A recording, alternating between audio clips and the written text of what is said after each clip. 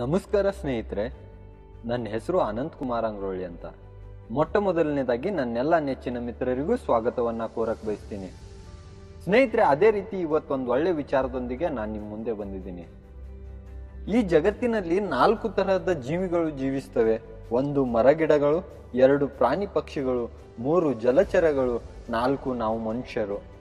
ಎಲ್ಲ ಜೀವಿಗಳ ಆಚಾರ ವಿಚಾರ ಬೇರೆ ಬೇರೆ ಆಗಿರ್ಬೋದು, ಎಲ್ಲ ಜೀವಿಗಳ ಬುದ್ಧಿಶಕ್ತಿ ಬೇರೆ ಬೇರೆ ಆಗಿರ್ಬೋದು, ಎಲ್ಲ ಜೀವಿಗಳ ಜೀವಿಸುವಂತ ರೀತಿ ಬೇರೆ ಬೇರೆ ಆಗಿರ್ಬೋದು, ಎಲ್ಲ ಜೀವಿಗಳ ಆಹಾರ ಬೇರೆ ಬೇರೆ ಆಗಿರ್ಬೋದು ರೀ, ಆದರೆ ಕುಡಿಯುವ ನೀರು ಮಾತ್ರ ಒಂದೇ ಆಗಿದೆ ಸ್ನೇಹಿತರೆ.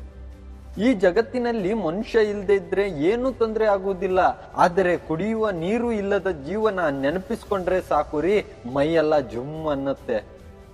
ಭಾರತ ದೇಶವನ್ನ ಸಂಪದ್ಭರಿತವಾದ ದೇಶ ಎಂದು ಸುಮ್ಮನೆ ಕರೆಯುವುದಿಲ್ಲ ಸ್ನೇಹಿತರೆ, ಇದರಲ್ಲಿ ಬಂಗಾರ ಬೆಳ್ಳಿಗಿಂತ ಅತ್ಯಮೂಲ್ಯವಾದ ವಸ್ತುಗಳು ಈ ಭಾರತ ದೇಶದಲ್ಲಿ ನಮ್ಮ ಪ್ರಕೃತಿಯಲ್ಲಿ ಸಿಗುತ್ತವೆ. ಅದು ಹರಿಯುವ ನೀರೇ ಆಗಿರಬಹುದು ಬೀಸುವ ತನ್ನನೇ ಗಾಳಿಯೇ ಆಗಿರಬಹುದು ಒಂದು ಕಾಲದಲ್ಲಿ ಇದೇ ಮಣ್ಣಿನಲ್ಲಿ ಕೇವಲ ಎರಡು ಅಡಿ ಎರಡು ಅಡಿ ಭೂಮಿಯನ್ನ ಅಗಿದರೆ ಸಾಕು ರೀ, ಗಂಗೆ ಉಕ್ಕಿ ಹರಿಯುತ್ತಿದ್ದಳು. ಇವತ್ತು ಎರಡ್ನೂರು ಅಡಿ ಬೋರ್ವೆಲ್ ಪೈಪ್ ಹಾಕಿದರೂ ಕೂಡ ಒಂದು ಹನಿ ನೀರು ಕಾಣುತ್ತಿಲ್ಲ. ಒಂದು ಕಾಲದಲ್ಲಿ ಮನೆಯ ಪಕ್ಕದಲ್ಲೇ ವರ್ಷದ ಹನ್ನೆರಡು ತಿಂಗಳು ಜುಳು ಜುಳು ಹರಿಯುವಂತ ನದಿಯ ನೀರುಗಳನ್ನ ಕಾಣುತ್ತಿದ್ದವು. ಆದರೆ ಇವತ್ತು ನದಿಗಳಂತೂ ಇವೆ, ಆದರೆ ಅದರಲ್ಲಿ ನೀರೇ ಕಾಣುತ್ತಿಲ್ಲ. ಕಂಡರೂ ಕೂಡ ಅದು ಉಪಯೋಗಕ್ಕೆ ಬಾರದ ನೀರಾಗಿ ಬಿಟ್ಟಿದೆ. ಒಂದು ಕಾಲದಲ್ಲಿ ಮನೆಗೆ ಬಂದ ಅತಿಥಿಗಳಿಗೆ ಕುಡಿಯುವ ನೀರು ಕೊಟ್ಟು ಮಾತನಾಡಿಸುತ್ತಿದ್ದೆವು. ಆದರೆ ಇವತ್ತು ಅದೇ ದೇಶದಲ್ಲಿ ಏಳು ಪಾಯಿಂಟ್ ಆರು ಕೋಟಿ ಜನ ಸರಿಯಾದ ನೀರು ಸಿಗದೆ ರೋಗಗಳಿಗೆ ತುತ್ತಾಗುತ್ತಿದ್ದಾರೆ ಸ್ನೇಹಿತರೆ. ಇವತ್ತು ಜಗತ್ತಿನಲ್ಲಿ ಮೂರನೇ ಮಹಾಯುದ್ಧ ನಡೆದರೆ ಅದು ನೀರಿಗಾಗಿಯೇ ನಡೆಯಬಹುದು ಎಂದು ಕೆಲವರು ವಿಚಾರ ಮಾಡುತ್ತಿದ್ದಾರೆ. ನಮ್ಮ ದೇಶದಲ್ಲಿ ಪ್ರತಿ ವರ್ಷವೂ ಮಳೆಯಾಗುತ್ತೆ. ಆದರೆ ಆ ನೀರು ಎಲ್ಲಿ ಹೋಗುತ್ತಿದೆ ಎಂಬುದು ಎಲ್ಲರಿಗೂ ಗೊತ್ತು. ಆದರೆ ಅದರ ಸಂಗ್ರಹಣೆ ಮಾತ್ರ ಯಾರು ಮಾಡಲು ತಯಾರಿಲ್ಲ ಸ್ನೇಹಿತರೆ. ಹೀಗೆ ಆದರೆ ನಮ್ಮ ಮುಂದಿನ ಪೀಳಿಗೆ ಏನು ಮಾಡಬೇಕು? ಯಾವ ನೀರು ಕುಡಿದು ಬದುಕಬೇಕು ಎಂಬುದು ತುಂಬಾ ವಿಚಾರಕರ ಪ್ರಶ್ನೆಯಾಗಿ ಬಿಟ್ಟಿದೆ. ನಾವು ಮನುಷ್ಯರು ಬಿಡಿ, ಹೇಗಾದರೂ ಕುಡಿಯುವ ನೀರಿನ ವ್ಯವಸ್ಥೆಯನ್ನ ಮಾಡಿಕೊಳ್ಳುತ್ತೇವೆ. ಆದರೆ ಪ್ರಾಣಿ ಪಕ್ಷಿಗಳ ಬಗ್ಗೆ ಯಾರಾದರೂ ವಿಚಾರ ಮಾಡಿದ್ದಾರಾ? ಮರ ಗಿಡಗಳ ಬಗ್ಗೆ ಯಾರಾದರೂ ವಿಚಾರ ಮಾಡಿದ್ದಾರಾ? ಹಾಗೂ ನನ್ನ ರೈತ, ನನ್ನ ದೇಶದ ರೈತ ಯಾವ ನೀರು ಉಪಯೋಗಿಸಿ ಬೆಳೆ ಬೆಳೆಯುತ್ತಾನೆ ಎಂಬುದರ ಬಗ್ಗೆ ಯೋಚಿಸಿ ನೋಡಿ ಸ್ನೇಹಿತರೆ. ಅರೆ, ಇಸ್ರೇಲ್ ಎಂಬ ದೇಶ ಭೂಮಿ ಮೇಲೆ ಬೀಳುವಂತ ಪ್ರತಿ ಒಂದು ಮಳೆ ಹನಿಯ ಸದುಪಯೋಗ ಮಾಡಿಕೊಳ್ಳುತ್ತದೆ. ಆದರೆ ನಾವು ಮಾತ್ರ ನದಿಗಳಿಗೆ ಹರಿಸಿ ಅದನ್ನ ಸಮುದ್ರಕ್ಕೆ ಸೇರಿಸಿ ಬಿಡುತ್ತಿದ್ದೇವೆ. ಬೇಸಿಗೆ ಶುರುವಾದರೆ ಸಾಕು, ಕೈಯಲ್ಲಿ ಬಿಂದಿಗೆ ಹಿಡ್ಕೊಂಡು ನೀರಿಗಾಗಿ ಹೋರಾಟ ಮಾಡುತ್ತೀವಿ. ನಮ್ಮ ಹೆಣ್ಣು ಮಕ್ಕಳು ಒಂದು ಬಿಂದಿಗೆ ನೀರಿಗಾಗಿ ಗಲ್ಲಿ ಗಲ್ಲಿಯಲ್ಲಿ ನಿಂತು ಜಗಳ ಮಾಡುತ್ತಾರೆ.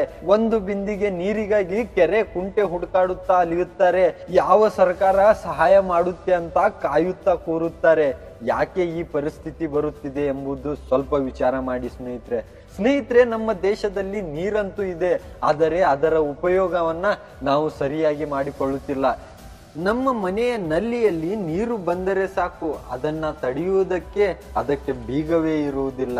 ಅಲ್ಲದೆ ನಾವು ಸ್ನಾನ ಮಾಡುವಂತ ನೀರು ಅತ್ಯಂತ ಸರಳವಾಗಿ ಕಾಲುವೆ ಸೇರಿಕೊಳ್ಳುತ್ತೆ. ಕಾಲುವೆ ನೀರಂತೂ ಸು ಚೆನ್ನಾಗಿರುತ್ತೆ ಅಂತೀರಾ? ಅದು ಚೆನ್ನಾಗಿರಲ್ಲ. ಅದೆಲ್ಲ ಕಲುಷಿತ ನೀರಿನ ಜೊತೆ ಸೇರಿಕೊಂಡು ಕಲುಷಿತವಾಗಿ ನದಿಗೆ ಸೇರುತ್ತೆ. ನದಿಯ ನೀರು ಕೂಡ, ಒಳ್ಳೆಯ ನೀರು ಕೂಡ ಹಾಳು ಮಾಡಿ ಹಾಕುತ್ತೆ. ಇದೇ ರೀತಿ ಕಾರ್ಖಾನೆಯ ನೀರುಗಳು ಕೂಡ ನಮ್ಮ ನದಿಗಳಿಗೆ ಬಿಟ್ಟು ನಾವು ನೀರನ್ನ ತುಂಬಾ ಕಲುಷಿತ ಮಾಡ್ತಾ ಇದ್ದೀವಿ.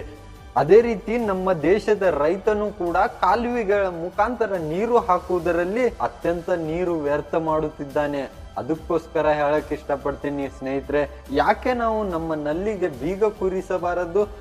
ಸ್ನೇಹಿತರೆ, ಒಂದೊಂದು ಹನಿ ಒಂದೊಂದು ಹನಿ ಬೀಳುವುದರಿಂದ ಪ್ರತಿ ವಾರಕ್ಕೆ ಹತ್ತು ಲೀಟರ್ನಷ್ಟು ನೀರು ಹಾಳಾಗುತ್ತೆ. ಅದಕ್ಕೋಸ್ಕರ ನಮ್ಮ ನಲ್ಲಿಗೆ ಒಳ್ಳೆಯ ಬೀಗ ಕೂರಿಸುವುದರಿಂದ ನಾವು ನೀರನ್ನ ಸಂರಕ್ಷಿಸಬಹುದು. ಅಲ್ಲದೆ ನಾವು ಸ್ನಾನ ಮಾಡುವಂತ ನೀರನ್ನ ನಾವು ಕಾಲುವೆಗೆ ಹಾಕುವುದರ ಬದಲು ನಮ್ಮ ತೋಟಗಳಿಗೆ ಅಥವಾ ಹೂವಿನ ಗಿಡಗಳಿಗೆ ಹಾಯಿಸಿದರೆ ಅದರ ನೀರಿನ ಲಾಭವನ್ನಾದರೂ ಪಡೆದುಕೊಳ್ಳಬಹುದು. ಅದೇ ರೀತಿ ಕಾಲುವೆಗಳ ನೀರನ್ನ ನದಿಗೆ ಸೇರಿಸದೆ ಬೇರೆ ಎಲ್ಲಾದರೂ ಸೇರಿಸಿದರೆ ಆ ನದಿಯ ನೀರು ಕೂಡ ಶುದ್ಧವಾಗಿರುತ್ತೆ.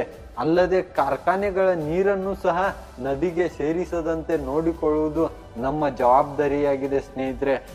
ಅಲ್ಲದೆ ನಮ್ಮ ರೈತರು ಕೂಡ ಹನಿ ನೀರಾವರಿಯನ್ನು ಅಳವಡಿಸಿಕೊಂಡರೆ ನಮ್ಮ ದೇಶದಲ್ಲಿ ನೀರಿನ ಕೊರತೆಯಾದರೂ ಕಡಿಮೆಯಾಗಬಹುದು.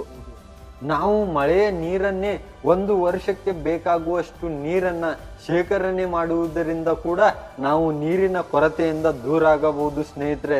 ಇಲ್ಲದಿದ್ದರೆ ಇವತ್ತು ಪೆಟ್ರೋಲ್ ಬೆಲೆ ಹೆಚ್ಚಾಗುತ್ತಿದೆ. ನಾಳೆ ನೀರಿನ ಬೆಲೆಯೂ ಹೆಚ್ಚಾಗುವ ಸಾಧ್ಯತೆ ಕಾಣಬಹುದು ಸ್ನೇಹಿತರೆ. ಅದಕ್ಕೋಸ್ಕರ ದಯವಿಟ್ಟು ಹೇಳಕ್ಕೆ ಇಷ್ಟಪಡ್ತೀನಿ. ಜಲವೇ ಜೀವನವಾಗಿದೆ. ನೀರನ್ನು ಉಳಿಸಿ ನೀರನ್ನು ಮಿತವಾಗಿ ಬಳಸಿ ಅಂತ ಕೇಳ್ಕೊಳ್ತಾ ನನ್ನ ಮಾತುಗಳನ್ನು ಮುಗಿಸ್ತೀನಿ. ಜೈ ಹಿಂದ್ ಜೈ ಕನ್ನಡಾಂಬೆ